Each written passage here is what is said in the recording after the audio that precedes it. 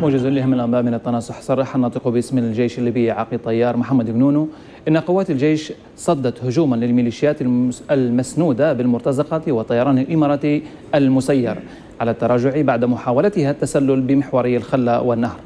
جنونو وفي تصريحات صحفية الأحد أضاف أن قوات الجيش تمكنت من تدمير خمس آليات مسلحة ودبابة كما تمكنت من القبض على سبع عناصر من ميليشيا حفتر الهاربة بعد محاولة التسلل الفاشلة.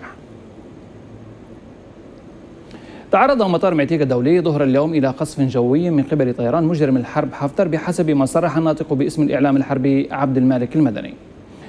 ويأتي استهداف المطار بعد أيام من إعلان وزارة المواصلات عن استئناف العمل به وبعد تأكيد المبعوث الأممي بليبيا غسان سلامة خلوه من أي مظاهر عسكرية.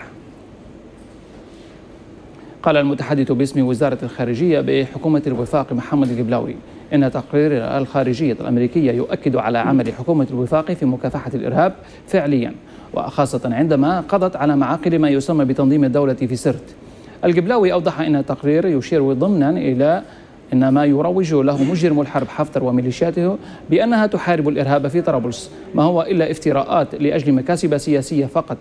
وفي سياق منفصل أكد الجبلاوي أن الخارجية على تواصل مع السلطات المالطية بمالطا بخصوص الأموال التي جرى إيقافها وإنهم سيعلنون عن المواقف النهائية بين الحكومتين حيال استكمال كافة الإجراءات والتحقيقات. أعلنت محكمة استئناف طرابلس اليوم الأحد إنها قامت بتأجيل جلسة الحكم في قضية مذبحة سجن أبو سليم المزمع. عقدها اليوم إلى يوم الخامس عشر من شهر ديسمبر المقبل بحجة عدم اكتمال المداولة.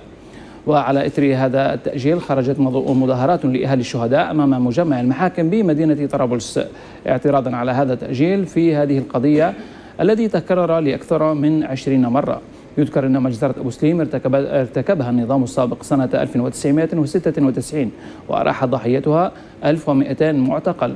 وقد تم بها قرابة خم... واتهم بها قرابة 35 متهما أبرزهم رئيس الاستخبارات العسكرية في عهد القذافي عبد الله السنوسي. نهاية موجز دمتم في حفظ الله ورعايته.